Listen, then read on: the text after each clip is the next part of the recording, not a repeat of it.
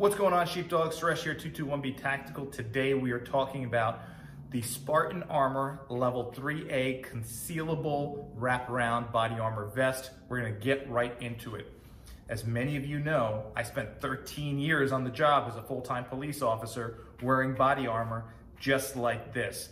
One of my gripes while wearing body armor was always the fit and the comfort of the body armor vest. I felt like there was just never a good balance between a good fit and a good comfort of these vests. And the second I tried this vest on, I was like, wow, finally someone got it. Someone got a good cut and a good design that gives you the optimal protection without sacrificing your comfort and your mobility. So I'm gonna get into that right now. Uh, Spartan Armor, great company, made in the USA body armor, and we're so proud to offer their products, their quality, made in the USA products right here on our website. So I'm gonna get into the fit, some of the exterior features, and then we're gonna talk about the ballistics toward the end of this video. Now, I wanna let you know, those of you watching this video that maybe you're law enforcement, maybe you're military, you're some kind of super ninja, this video is probably not gonna be for you because I'm gonna explain some low level things in here because there's a lot of people watching this video who, they were never in the military. They were never a police officer. They've never bought body armor before. They know nothing about body armor. So this is their first foray, if you would, into the body armor space. And uh, this is a learning video for them. If you are a seasoned veteran, then you probably already know everything you're gonna hear in this video. If you're a new police officer, maybe there's some things you'll learn as I did the job for 13 years and had some experiencing uh, experiences wearing this kind of body armor. So we'll get into it. First thing I like about this vest is the cut. Now, like I said, there's a fine line between the area of protection and comfort. And this vest blends both perfectly because it gives you the optimal coverage I feel that you need on the front and the back, and I'll turn around in a second, without sacrificing your ability to move your arms and be comfortable. One of the things I hated were the vests that came out too far and you literally couldn't like bring your arms together. That was so annoying, so frustrating, and even reaching for things on your belt and uh, on you know on your uniform was a hassle. So I really like the cut of this. I like how up front it comes up high to give you the protection you need once again, but without choking you if you sit down and the vest, rides up a little bit or anything like that. And you'll see there's a nice cutout here on the vest. And this vest should, for optimal use, come up to where about your collarbones meet. And that's where I feel like that's the height of the vest that I like. I'm gonna turn around. Nice and high on the back as well. That is something very important.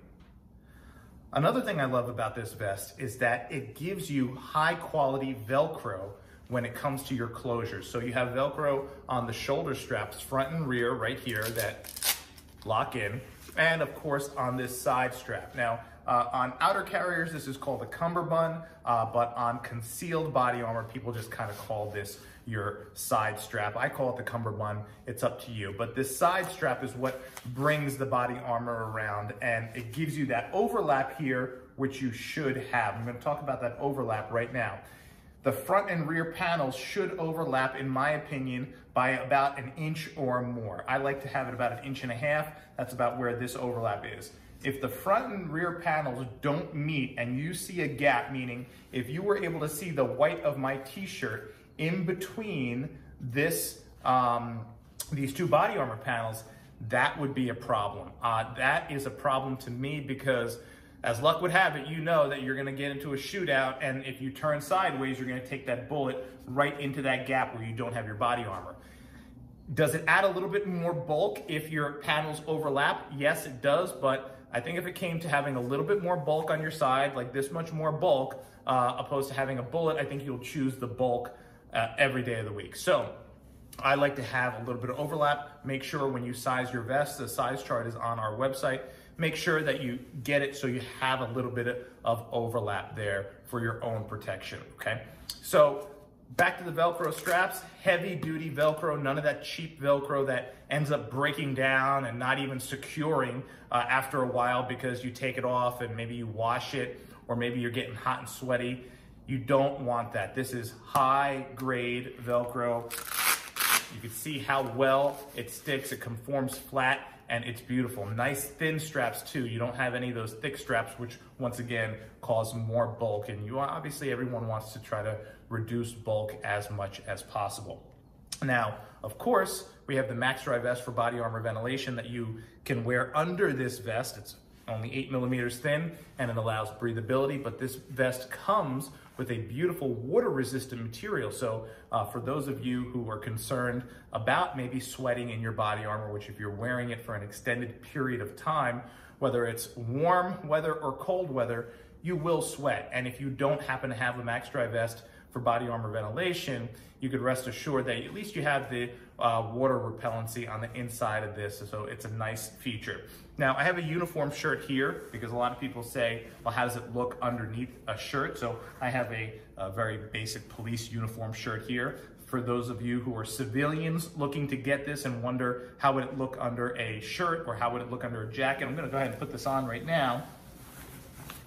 So you can see just how well it conceals this right here. And this is a similar shirt to what I wore when I was on duty as an officer. Uh, the ones I wore were a bit nicer than this shirt, but this is almost like a class B shirt. And you see here, I'm gonna step back a little bit, nice and concealed and has a beautiful fit. So you don't really look like the Stay Puft Marshmallow Man uh, when you have this kind of shirt on. And from a distance, most people, or even if you put like a winter coat on over this, most people probably wouldn't even know that you had anything on. And once again, you see here, I could move my arms, put my arms over my head. I could reach down if I need, no problem moving and flexibility because of this beautiful design. So I'm gonna take this shirt off and I'm gonna talk about ballistics for a second because many of you don't know the difference between soft armor and hard armor, and that's okay. So soft armor, when you see the A, and the beginning of this video I said it's a level 3A vest. When you hear the A, level 3A, level 2A, that indicates soft body armor. So soft body armor is rated to stop pistol or handgun rounds. Handgun rounds including 9 millimeter, 40, 45, 44 Magnum, uh, and in some cases 357. So this vest is rated to stop all of those and NIJ certified. Uh, the NIJ, the oversight committee that makes the rules, the guidelines, the standards for testing body armor. So you want to look at body armor and you want to make sure that if it's not NIJ certified, it at least meets or exceeds the NIJ standards, okay? And you can look that up uh, on your own to look at those standards and make sure before you buy it, body armor, you see that little seal. Okay, so I'm gonna show you the difference between the rounds because some of you, civilians especially, have never seen a bullet before. So I'm gonna show you a typical handgun bullet and a typical rifle bullet. You can see the difference in size, uh, the point, you can see how much thinner and how this is more rounded. So this is a nine millimeter round, very common, and this is a 223 round uh, that you see uh, in the news and the media. You see the AR-15. Uh, this is uh, the bullet that an AR-15 would shoot, uh, either 223, 556. So this vest is not rated to stop these rifle rounds. If you want to stop rifle rounds, you gotta get a plate carrier with either steel or composite plates.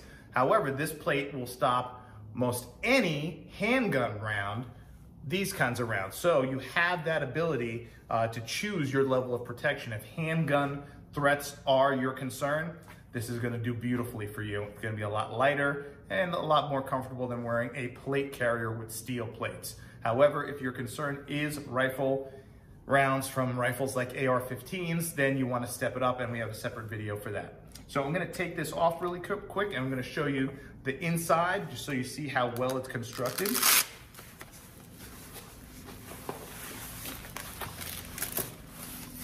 There you see Spartan armor made in the USA.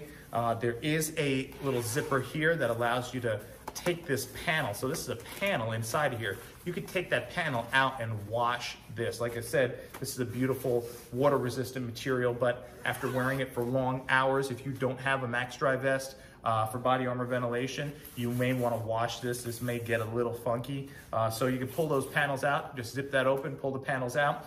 I would recommend taking the straps off so you're not throwing those through the wash and you can wash these panels, uh, these this carrier in your normal laundry and uh, that's it. You'll be good to go. You'll have fresh carrier, put your panels back in, put your Velcro straps back on, and you're good to go. Now, one thing about this vest I'm gonna share with you that is a feature that's nice that some vests don't have is this vest on the front comes with a built-in five by eight. I'm gonna get this thing straight so it doesn't look messed up here. It comes with a five by eight trauma pad inside the center of the vest. Now, what is a trauma pad? A trauma pad is an additional piece of padding that is on center mass on the vest. And what it does is attenuates back face deformation.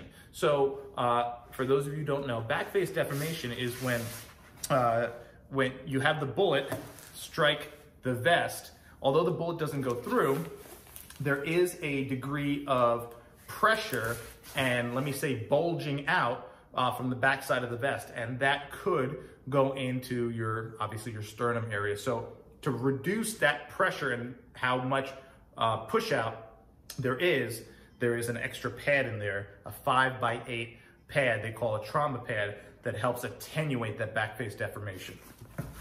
Thanks for watching. Hope you learned a little bit more about body armor and this beautiful level 3A wraparound concealable body armor vest by Spartan Armor. If you have any questions about this vest or any of our other body armor, please send our team an email at sales at 221btactical.com. Our team is there 24 7 to answer your questions about body armor or any of our gear designed to help keep you safer and more comfortable, whether you are in law enforcement, military, or you're just a civilian looking to protect yourself or your family.